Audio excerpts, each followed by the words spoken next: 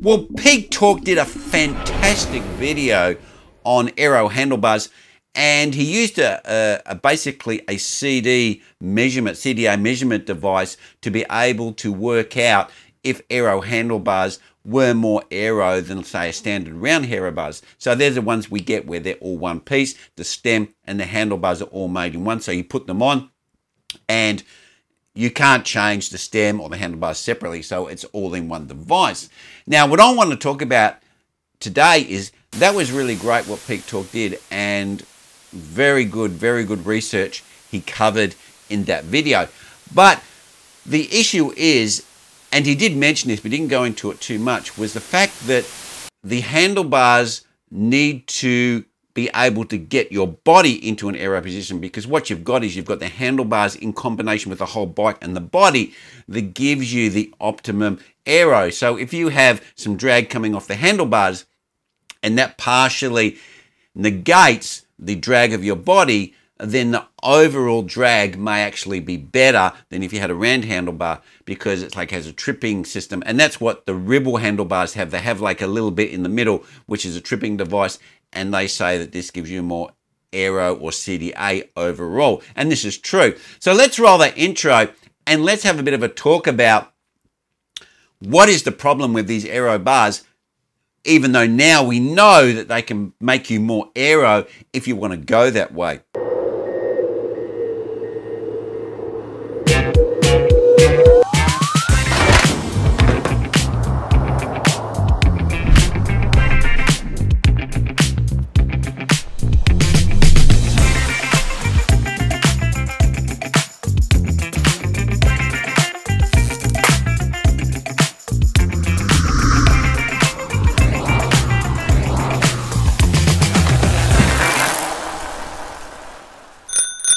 Well, the issue is is about getting the handlebars in the first place, getting the handlebars that fit you. Now, let's just say you're an experienced guy, you've got a set width, you've got a favorite handlebar.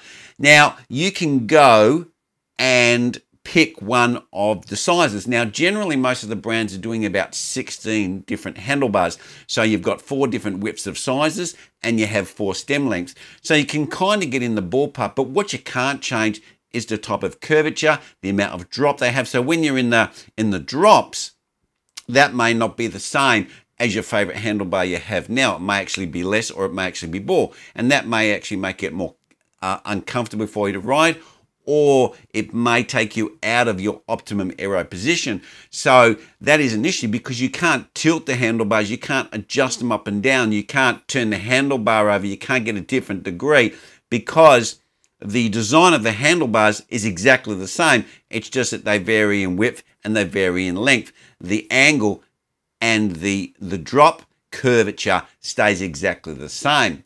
So we need to be really careful when we say aero handlebars are aero.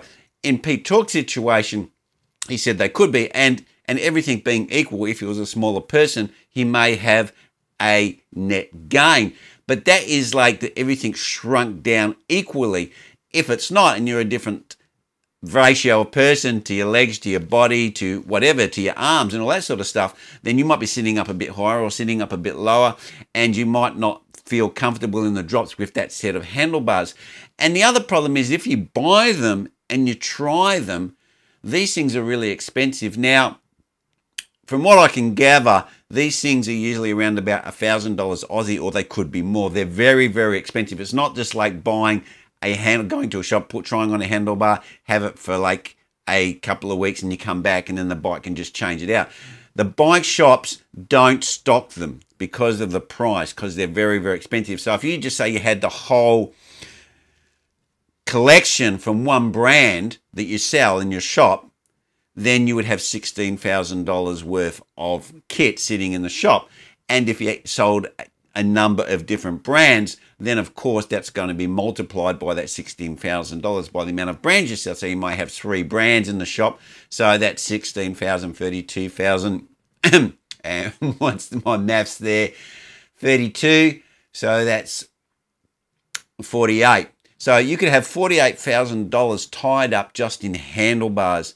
And a lot of shops don't want to carry that sort of kit in the in the shop. And the thing is, as well as if a new bike comes out next year, they could change that integrated handlebars because they've changed the design of bike and, and these aren't staying the same because they're proprietary. So that is the huge negative with aero handlebars. Even though they're aero, depending on the person and the way the person fits the bike and fits the handlebars, the limiting factor of the handlebars could actually make you less aero because they don't give you the same drop or they don't get you into the same position that you can get into if you just buy a stem with a, a different negative uh, or positive angle on it and your, your favorite handlebars that you've worked out over the years.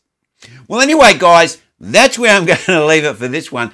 So even though Peak Torque did a fantastic video and I would recommend you 100% to check it out. Peak Torque does some excellent stuff and he's using this new CDA device, which is really interesting. I hope he does a video specifically just on that device because these things are not that common and it would be really interesting to know a little bit more about them. But anyway, guys, in his case, he got a, a net gain, but that may not be the case with you or the handlebars. You may actually get more of a gain or you actually make more, might have a negative gain. Well, that's where I'm going to leave it, guys, and I'll see you next vid.